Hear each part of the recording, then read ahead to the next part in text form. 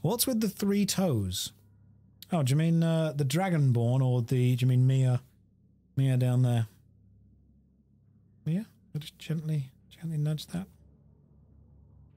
No, she's not bothered about playing now. She's tired out. She's an old lady.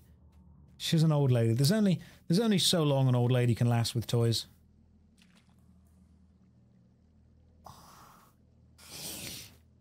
Oh, fine. Clip it and ship it, Visa. There you go. There's your dinner. There's your supper, mate. I sorted you out with that one. That's going to get 20,000 views on the clip channel, and you're going to you're going to be able to afford yourself a Five Guys or something nice, you know? There's a little treat, a little early Christmas present for you. There we go. Yeah, don't say I never do anything for you, mate.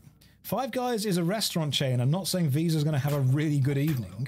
Okay, well, he will. It's a nice burger, but well, you know what he wants to do with his money is up to him. I'm not going to judge him, but you know, I like nothing more than snuggling in with it with Five Guys. And if I'm hungry, I'll get a pizza. So, whatever you want to do in your evenings, entirely up to you. All right.